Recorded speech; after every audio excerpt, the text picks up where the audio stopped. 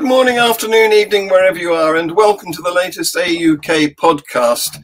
You may be able to hear banging of drums in the background. That's because it's Remembrance Sunday and the parade goes past this very house.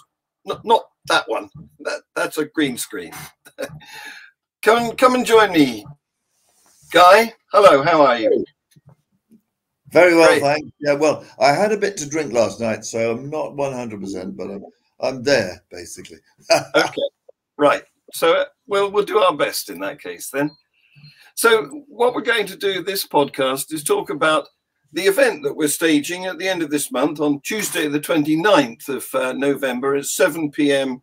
in the Conway Hall, where the speaker will be Professor A.C. Grayling. And what, what I'm interested in is promoting that event. So I want people to see, for example, this poster. Here we are. There's all the details there. Please go to Eventbrite and put in Proving Atheism and buy your tickets from there. Now, we're very pleased that uh, AC Grayling accepted our invitation to become our honorary president back in August when we had our AGM. So I'm going to show a very brief clip of him doing just that. Here we go. But I'm going to invite you to be the honorary president of Atheism UK. So. I mean, my, my instant response uh, is to say that I would be very, very deeply honored uh, and uh, I, uh, but very honored indeed at, at, the mere suggestion of it. And I can say straight away, I'd be very happy to accept. And of course, John, you've got to be a bit democratic about this. You've got to make sure that your AGM agrees with you. Yes, yes, we shall. Don't worry. Well, that's wonderful news, Anthony. I think uh, you've you've done splendidly in enthusing us and giving us a motive to continue with our mission. Take the rest of the day off.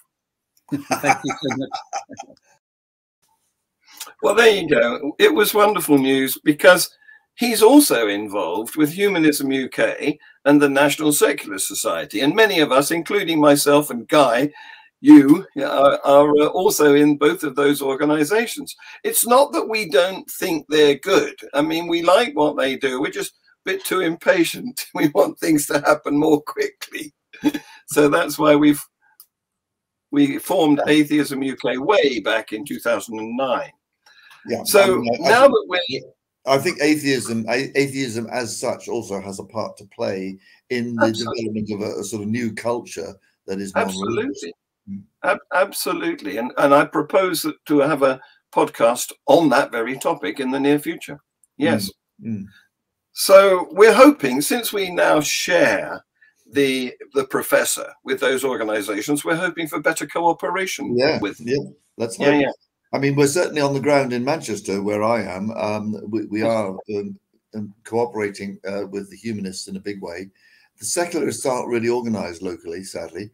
Mm. Um, and the other good news uh, to give give our listeners today is that uh, AC Grayling is also coming to Manchester.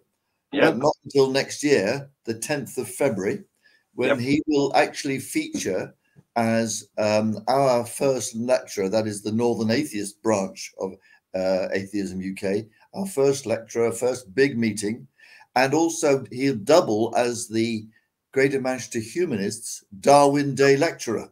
Yes, so that's getting a major event.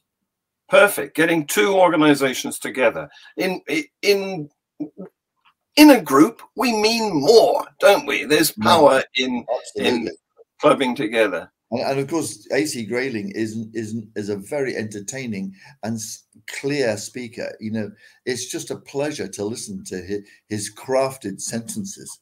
I know, yes. He's... On top of that, he's just so persuasive. Everything he yes, says yes. is right, you know. Yeah. Absolutely. He speaks like most of us write. I mean, you could take his transcript and it would be an article. Yes, I mean, I'm, I I suspect that the reason he has so many books is he just sits down with a dictaphone and and it just comes straight out. You know, I don't know. I mean, his books are just brilliant. You know.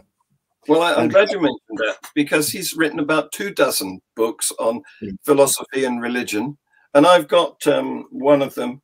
Uh, I was going to show it, but I haven't got it to hand. So uh, yeah, I've got um, the the God. Uh, the God argument. The God argument. That is brilliant. Yeah. The, fir the first half deals with uh, the whole, you know, proving, you know, the, the attempts to prove God, and the yeah. second half actually says, well, now that we don't have God, what do we have? And and he goes on to discuss really uh, humanism essentially. Humanism. That's right. Yes. Yeah. And here's me at a book tour that he was doing in my neck of the woods, uh, receiving the book, which is in my hands there, which he signed for me. And so there you there you go. That's some yeah. years ago. You can you can see I'm a much younger man then. yes, I've got a, a, load of his books, some of which are signed, and I've mm-hmm. I have also a, a, photo of me with him, but not at my fingertips. I should have. Uh, if you'd warned me, I could have produced mine as well. yeah, well, but, I mean, he, he, but the, the thing about A.C. Grayling is not that he's not only an amazing philosopher and educator, he's a very approachable sort of human. Yes. He's yes. not arrogant. He's not in yes. an ivory tower. Yes. Um, you know, he's just a national treasure when it comes to yeah. humanism and atheism. Yeah. Absolutely. Yeah. So he's done years in academia, particularly as a professor at Birkbeck. But since then, he launched a university.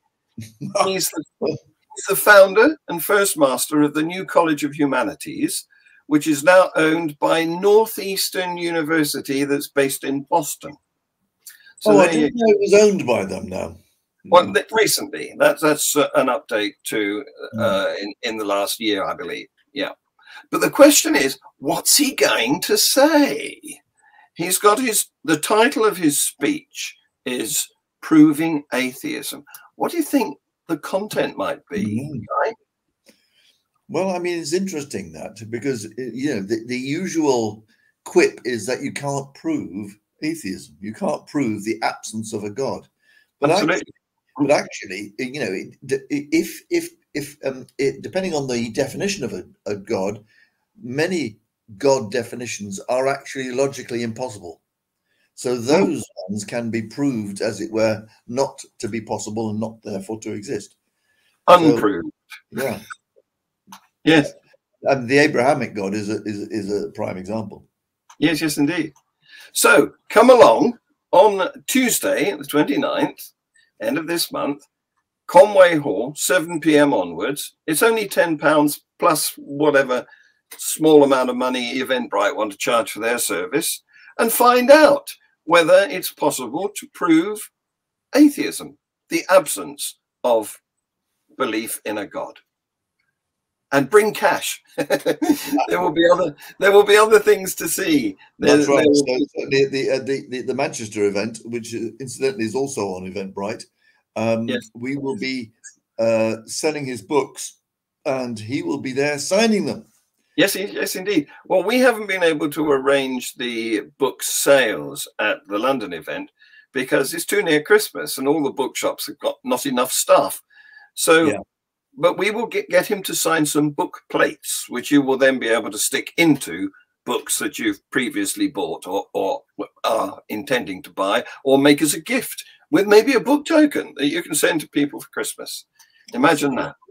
And you could get a photo with him, and there will be uh, an opportunity to view an original painting of Christopher Hitchens, which will eventually be uh, auctioned on eBay. There you go. It's going to be a good event, isn't it? Yeah, I'm, uh, I mean, um, one of our guys in in um, in Manchester is coming down. Jeffrey is going to go down to the, the London one as well yeah. as obviously be prominent yeah. in the Manchester one. So, yeah. Um, uh, but I'm I'm not be I'm not going to be able to make it to the London one, but uh, I'm sure that you'll have a good turnout because he's he's such a good speaker, such a brilliant person. Yeah, come from far and wide. Mm. Thank you, Guy. Cheers, John. Bye bye.